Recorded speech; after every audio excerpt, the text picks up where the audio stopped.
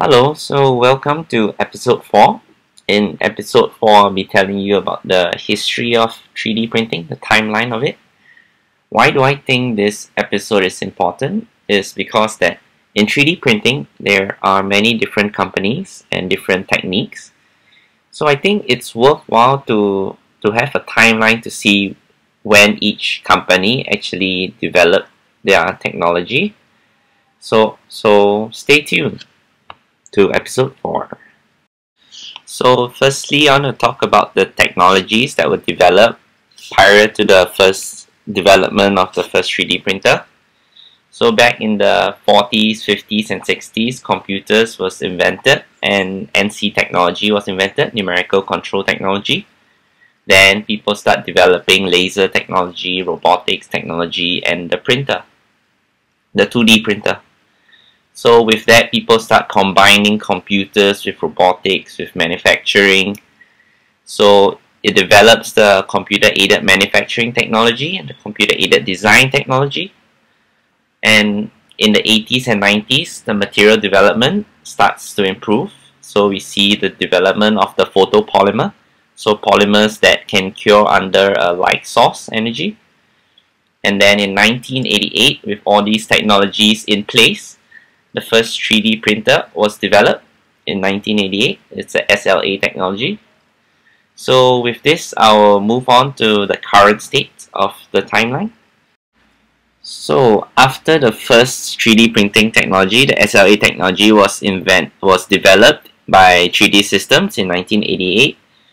Shortly after, the selective laser sintering technology was developed by EOS and then in 1991, there's a number of technologies that were invented, such as the FDM, Fused Deposit Modeling Technology by Stratasys, the SGC, Solid Ground Curing Technology by Cubital, and LOM, Layer Object Manufacturing by Helisys. So basically in this video, I won't be covering the technologies per se, but I will be telling you the names of the technologies and the companies who invented it because some of the companies are still very much around, so it's good to be able to link the technologies with the companies.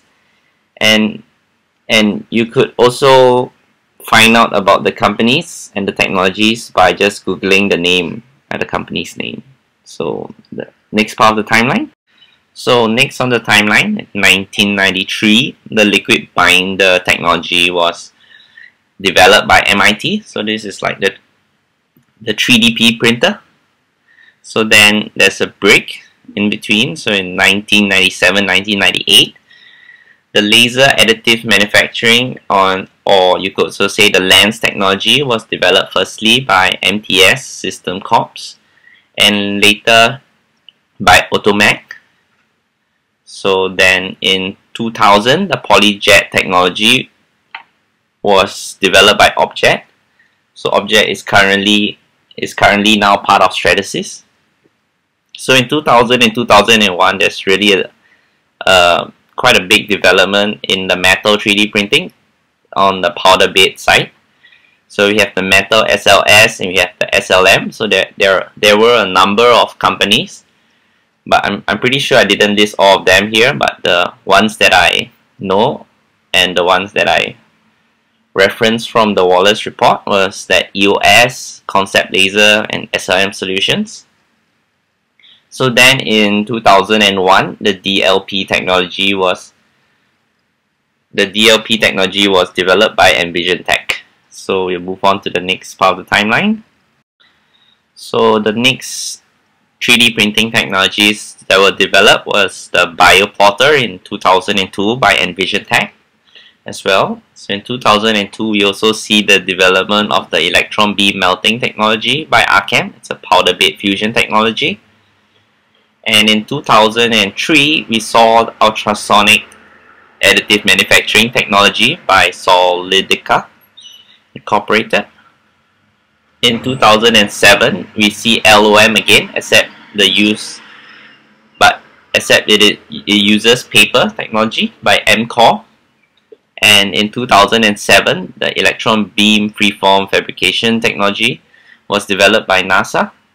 So this is a filament based kind of EBM technology. So because in space you can't possibly use the powder bed technology.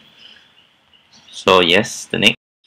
So in 2007, we have the development of the RepRap technology by the University of Bath. Basically, this allowed the commercialization of FDM technology. Then in 2008, we have the MEMS digitalis technology. Basically, this is a micro electromechanical system technology. So it is a new exposure system as compared to previously we see. So this is this is developed by Huntsman Advanced Material, but it is now taken over by 3D Systems. So that's it. So in the future, I think, or the future, or, or even just currently, we can see a hybrid of technologies. People mixing technologies together, or people mixing additive manufacturing technologies with conventional technologies. So this is basically the timeline of 3D printing. Hope you learned something and hope you get used to the names of these companies so that when you do see the name, you can associate the name with the respective 3D printing technologies, which I will cover in the later episodes. Thanks. So lastly, the summary. I think from the slides, you can see that a lot of the technologies that power 3D printers today have been developed in the last 20 years many of such technologies are now developed enough to be considered by industrial companies. So a lot of industrial companies are currently doing feasibility studies to see whether additive manufacturing can be incorporated in their manufacturing business. And I also see that there are currently quite a bit of hybrid technologies that are developing. So it should be uh, pretty exciting. So I hope you learn a bit more about the landscape of 3D printing, the different companies, the, a bit of the technology names, so you get used to the terms. So with this, this is the end of episode 4 and I'll move on to the references. So the references, I think this is a very important aspect of my video and I want to develop myself to make better references and to do better references.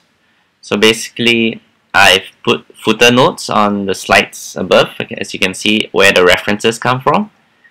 So hopefully you know that a majority, a majority of the ideas and the work that done to research these slides were done by a module that I took in university and also by the Wohlers report.